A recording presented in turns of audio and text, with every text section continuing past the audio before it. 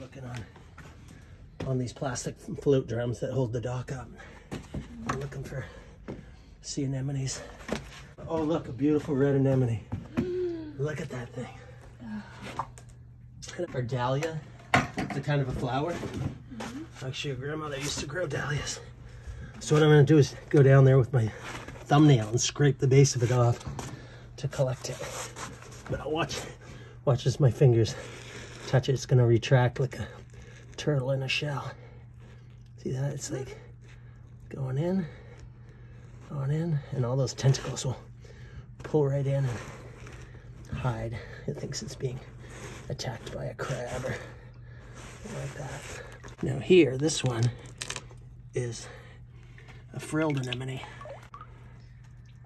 Gotta save that one. Look how it, it retracts down. This one feeds more on um, little bits of plankton like larval crabs, larval shrimp, larval um, clams, mussels, where the red anemone with those big tentacles catches actual shrimp and fish and things like that. So you can see now the anemone's all retracted down. And actually, I'll take my jackknife to scrape it off. So my Leatherman. And we'll just go down in here and slowly scrape it. It's kind of like peeling an egg out of a frying pan.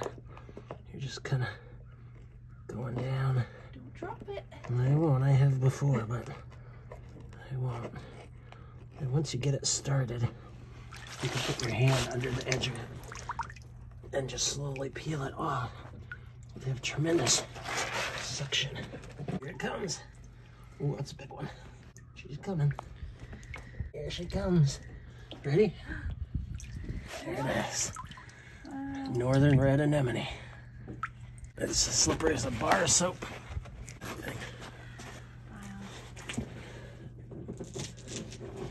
Also, these little pink dots, those are baby or very small little anemones, all retracted down. Those are the frilled. Oh, there's sea squirts. Oh, look, a sea urchin.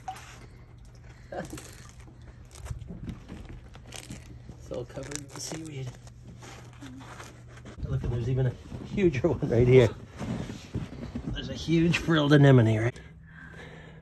When you read a description of them, they say they often look like palm trees. And you can see how the other name for it is the um, plumose, like a plume, uh, a feather. Now watch, I'll slowly go down and touch this guy. When I touch his tentacles, he'll retract them in. Look at it go. Shrinking, shrinking. And in it goes. So we're looking on the bottom of this dock float. And there's a bunch of blue mussels, but here's a very nice northern red anemone. I'll grab it slowly and it will retract and pull itself into its sheath. What I wanted to show you were all the sea squirts oh, on this piece of kelp. Pull it up. Actually, it's a stick, like a log. Wow. Nope. Look at the squirts. These are called the sea vase. Essentially just like a filter feeder, sucking seawater in one end and out the other. And they're in the water. You can see them.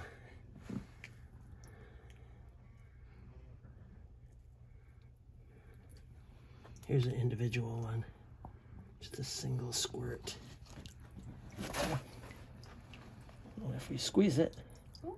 it squirts.